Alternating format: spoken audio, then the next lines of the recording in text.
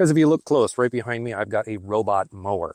If you're anything like me, you have probably been curious how these things work, if they are worth buying because they are pretty expensive. And you're probably curious how they don't get lost, how they know where they are on the lawn. Now, there's a bunch of different ways that these robot lawnmowers can map out your lawn uh, and not get lost. Some of the earliest versions of these things use boundary wires, and you can still buy those kinds of mowers today. However, the most common, at least during the year 2025, the most common way that these lawnmowers work is using something called RTK. RTK stands for real time kinematic. Kinematics is kind of this subset of like physics and math uh, that's all about positioning. Kinematics tracks how things move in relation to other things, not taking the cause of movement into consideration. That's random information. That's just good to know.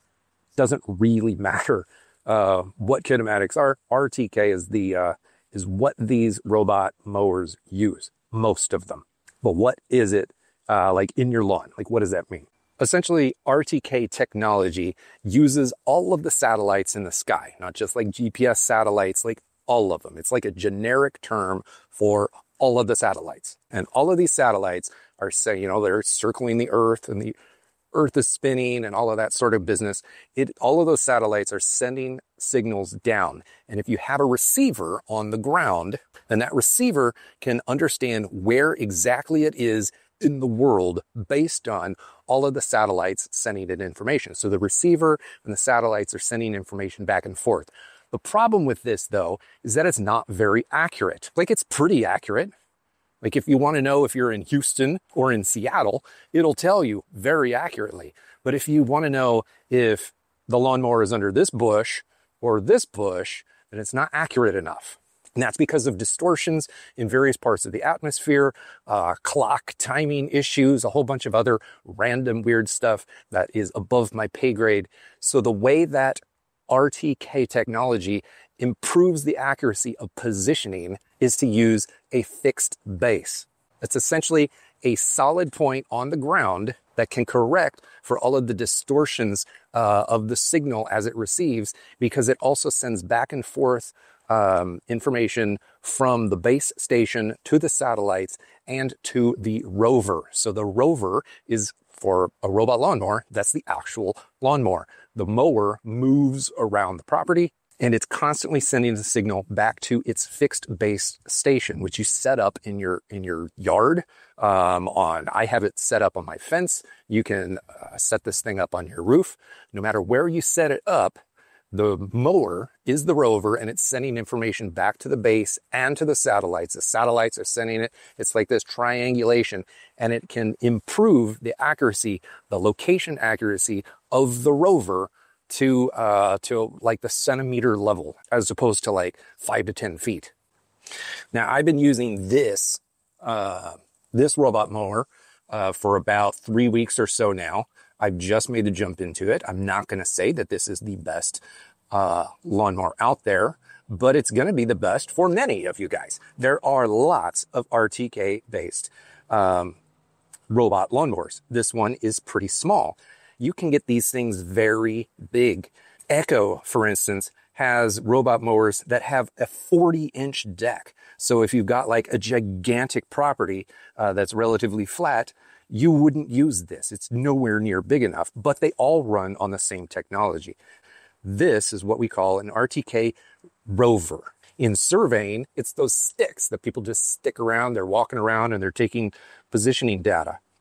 But for lawnmowers, the actual mower is the rover and its base station is an RTK receiver. Now, you could just like mount it into the ground or up onto the roof. I decided to mount mine right on the inside of my fence. In fact, I'm not even using the, the bottom of it. I just like drilled it into the fence so this thing is stable. It does not move. So long as I'm getting a good signal on this, which I can see from the front. With my lights right there, everything is green. I got perfect signaling. Then I know that this thing is constantly sending information up to the satellites and down to my rover or the lawnmower itself. Now, RTK mowers are going to be very accurate. However, they are going to have some limitations.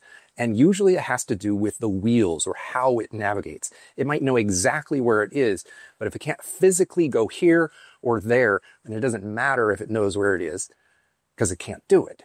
Some of these mowers are capable of going up steeper slopes. Some of these mowers have a wider base. They're heavier, which means that if you don't have a dense lawn, that they're going to start getting stuck. Some of these mowers are on wheels, some are on tracks, some are two-wheel drive, some are all-wheel drive.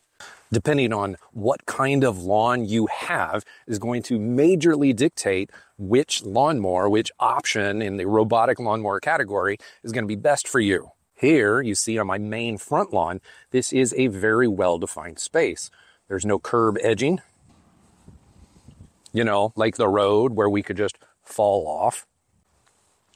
I have a barrier between my landscape bed and the lawn itself.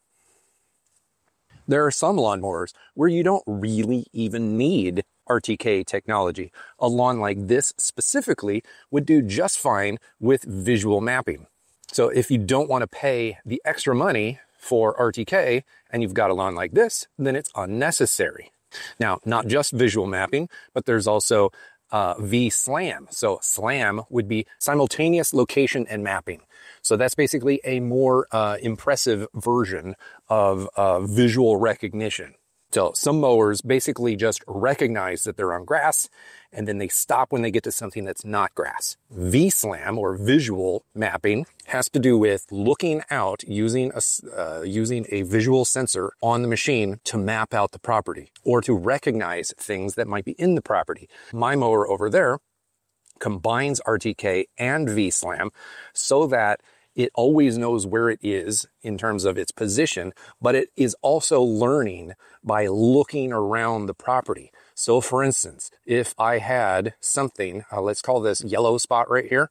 Um, if I had like a bird bath right there, um, it would recognize that the bird bath is there because of the VSLAM and the RTK would give its position and it would learn to go around it.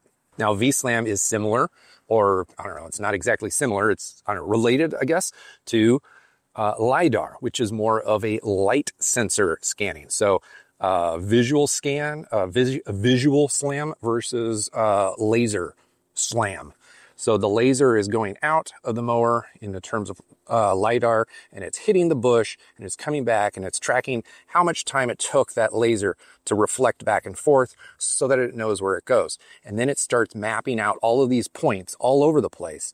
So inside the uh, the machine, it essentially has a scatter map, a plot graph. I don't know what you would call it. Just a, a whole like bajillion points in place that it sees things. So it knows where it is within that, uh, within that map that it generates with the laser reflection. LiDAR tends to be more expensive and it also tends to be better for places that are, that have lots and lots of obstructions. So with RTK, the more obstructions you have, uh, be it be houses or cars or trees or lots of overhead uh, cover, LiDAR ends up being a little bit better. Also, if you have like mounds or hills where there's more vertical movement, then LiDAR becomes more and more important. But the typical lawn tends to look like this, which is why the vast majority of RTK machines will work just fine so long as they're set up well. Now with my unit over there, I'm actually, I, I have, I've walked it around manually by myself and I have mapped around the edges of uh, the mowing zones that I want and I, I track or I uh, program it to mow uh, whenever I want, basically daily. But as it goes, it's constantly scanning through its VSLAM uh, and learning, um, learning how my, uh, my mowing zones uh, work in relation to the positioning that it's getting from satellite technology. As it goes, it just works better.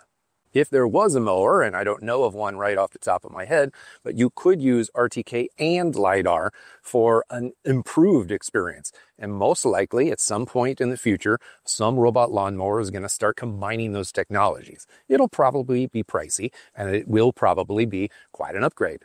But for the time being, the vast majority of these mowers all use the RTK concept. And then they add in extra features uh, in terms of their visual ability to look out, scan around them, and understand the environment around them. You know, like if there's a toy in the middle of the yard, they're not going to try to run it over. I got a blog post linked down in the description below where I discuss the various kinds and the various brands of robot lawnmowers because I can't just say this is the best mower.